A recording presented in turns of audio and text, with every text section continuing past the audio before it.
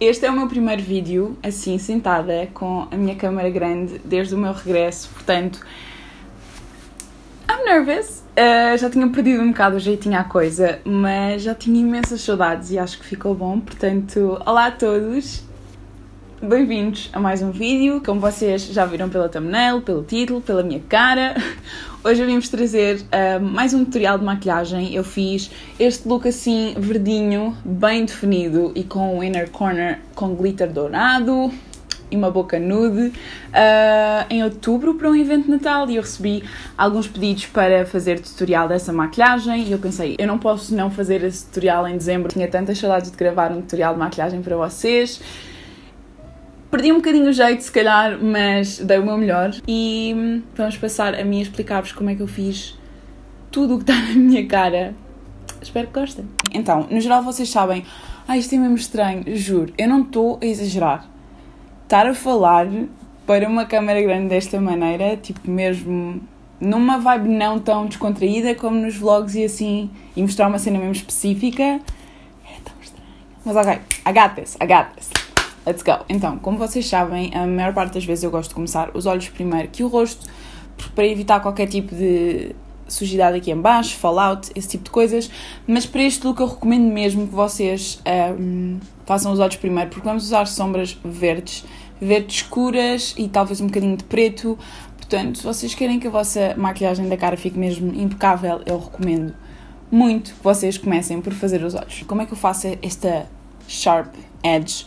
Um, eu podia fazer isso com um pincel angular e estar ali e tal, mas acho que é muito melhor vocês usarem o truque da fita cola. Eu não tenho fita cola normal em casa, portanto, se eu vou usar esta fita cola, talvez, eu nem acredito, estou a fazer um tutorial de maquilhagem com fita cola desta. Ok, basicamente o que eu fiz foi eu coloquei a fita cola um bocadinho abaixo do fim do meu olho para apanhar esta zona aqui da linha das pestanas inferiores que é para quando estamos a fazer a sombra ficar assim uma linha contínua. Portanto, yeah. Estou linda. para primer eu vou utilizar um corretor, na verdade. Vou utilizar o Conceal and Define da Makeup Revolution. E vamos pôr nas pálpebras. Ok, pálpebras com corretor. E agora, eu vou vestir bué sincera, eu já fiz este look de maquilhagem em outubro e eu não me lembro muito bem com que sombra é que eu comecei. ok, eu espero não estar a fazer borrada, mas eu tenho um pressentimento que comecei com esta sombra aqui, da NYX, que é na cor M06. Se calhar vou aproximar um bocadinho a câmera, só para vocês verem melhor o que é que eu estou a fazer.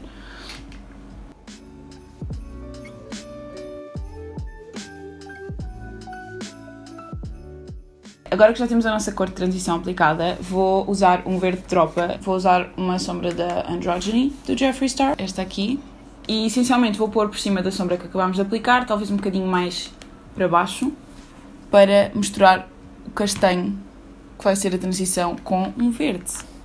Vou misturar uh, os dois verdinhos da paleta do Jeffree com a Morphe, ou seja, a Wake and Bake com a Nate. Vamos aplicar esses tons assim mais aqui embaixo na pálpebra.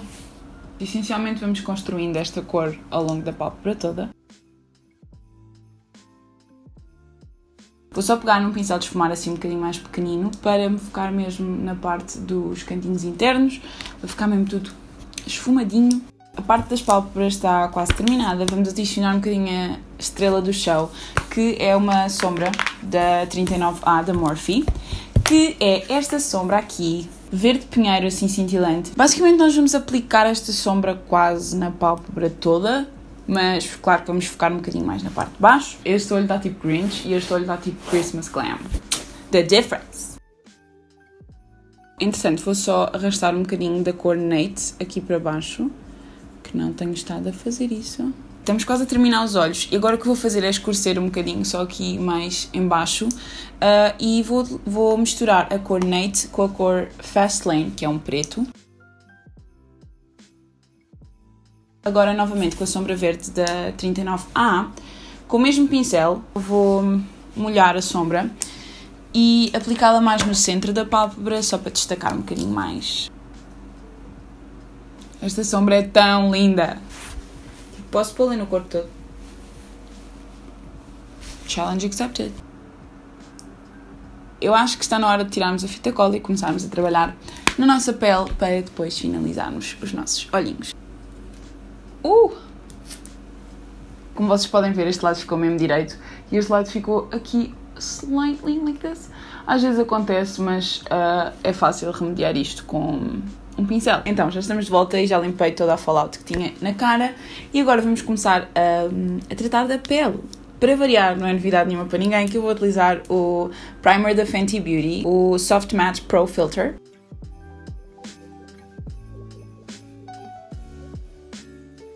Agora em relação à base, eu tenho aqui esta da NARS, que eu ainda não experimentei, porque quando ela me foi oferecida eu estava demasiado bronzeada. By the way, Sofia, Raquel, shout out, miss you, love you. Ela estava demasiado clara para mim, mas eu sinto que neste momento ela é o meu tom perfeito e eu ainda queria usá-la. Eu vou só aplicar um bocadinho de, deste spray aqui da Apivita, que é o Greek Mountain Face Water, só para hidratar um bocadinho mais, porque eu estou a sentir que esta base vai ser bastante thick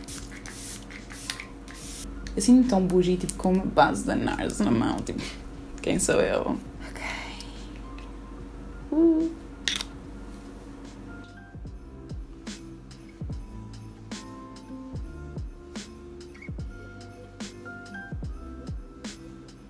Ok, ela é sem dúvida o meu tom e eu apliquei bué pouco e temos bastante cobertura, portanto, é sem dúvida uma base a não abusar.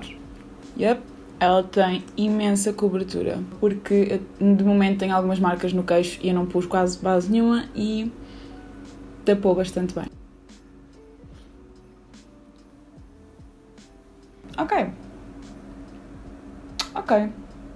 Acho que gosto. Agora vamos passar para o corretor. Vou utilizar o Liquid Camouflage da Catrice. Assim aqui um bocadinho. Aqui assim também um bocadinho. E como este corretor é bastante claro, eu vou aplicar juntamente um bocadinho do Can't Stop, Won't Stop Contour Concealer da NYX na cor 08 True Beige, que é um bocadinho mais amarelado, mais escurinho. Pronto, esta basicamente é a parte em que vocês têm de ter mais jeitinho uh, por terem feito os olhos primeiro que o rosto, portanto, cuidado a fazer o blending do vosso corretor. Eu gosto de ir mesmo com o biquinho da Beauty Blender assim, mas cuidado, não toquem mesmo na sombra verde, que é para abrir o blender não ficar verde. Vou utilizar o pó da Fenty Beauty na cor Butter, mas não vou utilizar muito porque pele seca. Também vou aplicar aqui no queixo, um bocadinho mais concentrado porque tenho as tais marquinhas que vos falei. Agora vou utilizar este pincel maiorzinho e vou aplicar uma camada mesmo, mas mesmo fininha de pó no resto do rosto, só para não estar com umas zonas mais uh, úmidas e outras completamente secas. Esta luz está incrível, sabem? bocadinho de nada no nariz, que eu detesto ver o meu nariz mate. E agora vou mudar as baterias, porque estou a ficar sem bateria nesta. Ok, baterias renovadas. Agora, com este mesmo pincel, assim, bem fluffy, vou utilizar para aplicar bronzer. E para bronzer eu vou utilizar a Can't Stop, Won't Stop Powder Foundation da NYX. Eu adoro isto com bronzer porque é mesmo natural, porque é um produto que é suposto você aplicar na, na cara toda. Então é um pó mesmo fininho. iluminador. E vamos, mais uma vez, aplicar uh, este spray só para umedecer a cara, para o iluminador ter assim uma base mais úmida. By the way, sad story. Eu parti o espelho da minha paleta de iluminadores do Jeffree Star e agora tenho aqui fita cola porque eu não quero vidros pequeninos nos meus iluminadores. Vamos utilizar aqui a cor King Tuck, que é claramente a mais utilizada. Oh, fuck, ladies. Opa! A luz está a começar a ficar má. Vamos nos chegar para aqui.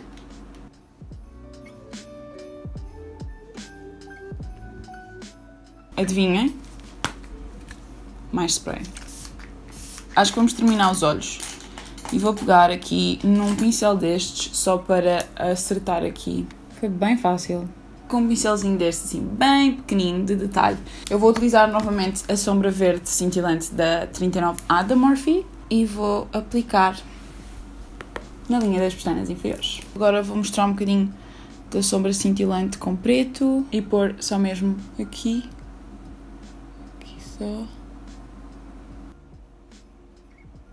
Agora chegou a estrela do espetáculo, The One and Only, que é o canto interno dourado.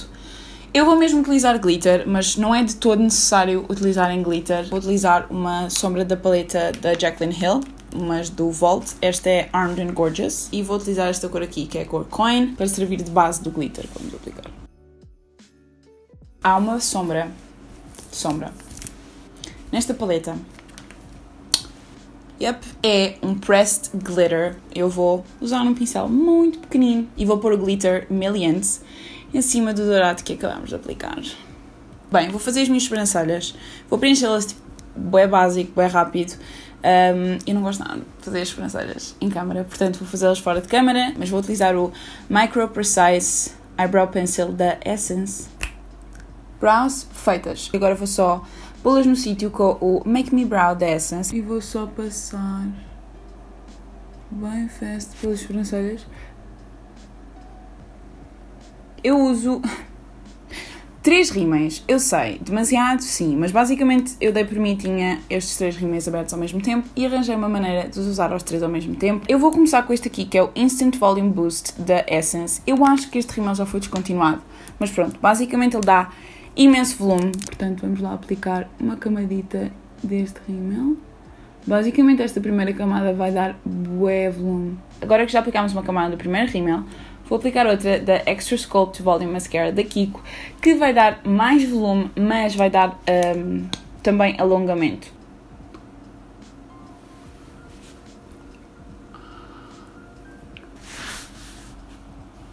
Pronto, vamos deixar isto estar aqui porque quando secar vamos conseguir retirar com cotonete como deve ser.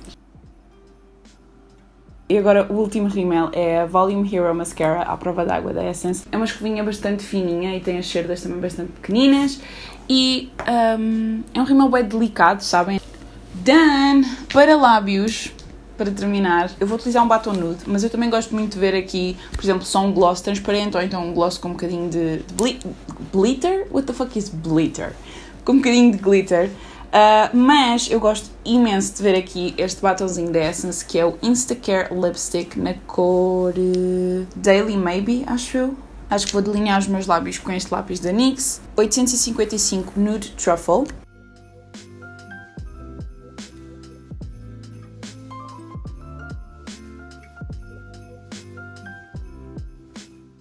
É super hidratante, então dá assim quase efeito gloss, estão a ver? Eu gosto mesmo deste batom. E acabamos, finalmente. Vou só tirar as molinhas do cabelo. Este é o resultado final do look. Eu amo, mas amo este look. É um bocadinho extra, eu sei, mas claro que vocês podem adaptar isto aos vossos gostos e fazer assim uma coisa menos extra. Eu espero muito que vocês tenham gostado do tutorial. Eu já tinha imensas saudades de me sentar e gravar um vídeo assim sentadito, com a minha câmera grande. Como sempre, as minhas redes sociais estão todas na caixinha de descrição. Um, beijinho enorme e vemo-nos no próximo vídeo. Tchau!